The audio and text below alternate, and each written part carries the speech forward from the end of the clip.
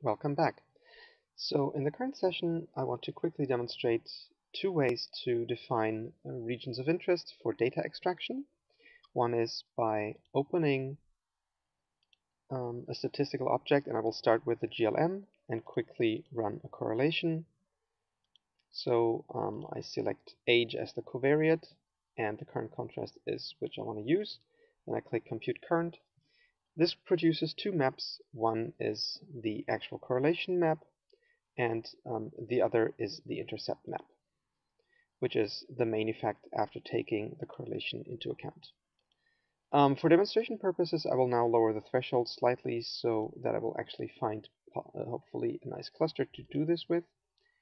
And uh, yeah, this might might be um, a good one because I can see that it both is uh, um, available in the main effect and in uh, the correlation. So the first thing I want to do is um, I want to see the overlap and for this I will quickly compute a conjunction by saying conj val p 1 and 2 with a dollar sign and since one is a correlation and the other is a t-map I have to use the conjval p function and p-values. This will take a little longer, but once this is run, I will then see um, the overlap between the two maps. Um, if I now want to define this as uh, um, my cluster of interest, I can first threshold the map a little further with um, a size threshold so that very small clusters disappear. Then I click the cluster table and make sure that I go to the uh, cluster that I want to, which is this one. And then um, if I further want to restrict the selection around this cluster, um, let me first delete all the other clusters in the list because they're not really of interest. Um, then I can click this button which restricts the um, size of the cluster to a sphere of a given radius around the peak voxel. So this has removed three voxels from the cluster, which are supposedly these three. If I then want to visualize this cluster again, I first deselect um, the map so that um, nothing is selected. Then I can click on the cluster and then um, I have two visualization options.